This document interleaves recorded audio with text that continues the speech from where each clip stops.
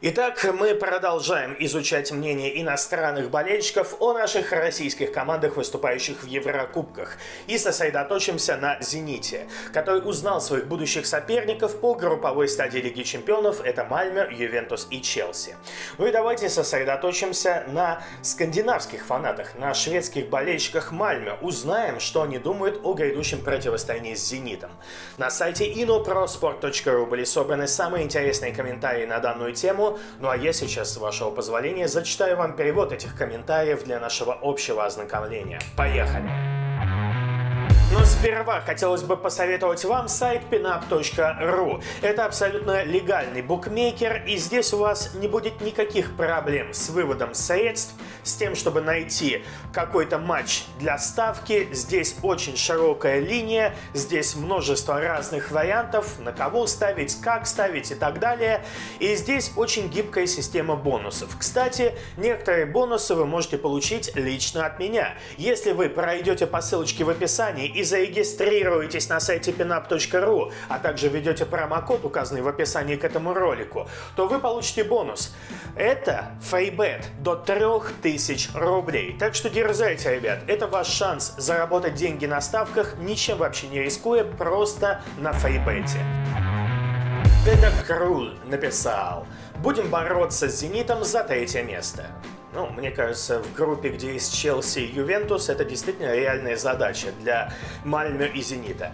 MVP написал, сумеем ли мы показать хороший футбол против Зенита? Не знаю. Похоже на то, что русские единственные, с кем нам тут по силам потягаться. Но и с ними мы будем считаться аутсайдерами. 212-42. «Зенит» во многом сопоставим по силе с киевским «Динамо». Пожалуй, немного посильнее, но непобедимым для нас он точно не является. Ну, недавно Мальме уже встречался с киевским «Динамо» и показал себя неплохо, поэтому они и проводят аналогии между двумя постсоветскими командами. Кликс. Рад, что нам достался «Зенит». С ними можно повоевать. Что самое забавное, примерно те же самые мнения появляются и у фанатов «Зенита». Хорошо, что достался Мальмё, с ним тоже можно пободаться. Ситер Гранж написал «Зенитом у нас есть хорошие шансы. Мы должны занимать третье место».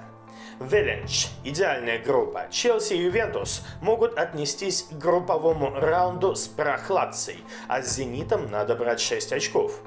Это, видимо, вот этот фанат собирается бороться за выход в плей-офф Лиги Чемпионов? Ну, не знаю.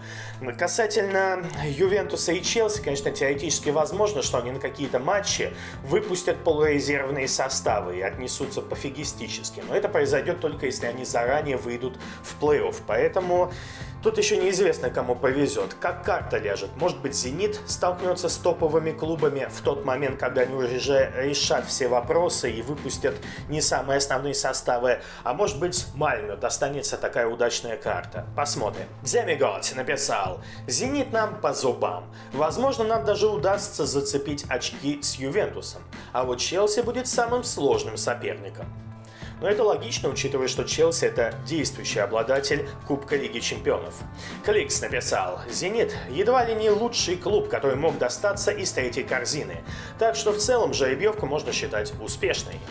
Марсел Керн. Встречаться с Челси и Ювентусом намного лучше, чем с ПСЖ и Манчестер Сити. Ну и Зенит видится приземленным соперником из третьей корзины. Да, все могло быть еще хуже, но я считаю, что эта группа проходимая за счет Зенита ну, проходимый, видимо, с намеком на то, что можно попасть в Лигу Европы. Посмотрим, опять же, кто окажется на третьем месте. Мэн Йонг написал, «Очень счастлив такому жребию. У нас есть реальный шанс оказаться выше «Зенита» и даже «Ювентуса», который уже не тот, что был прежде».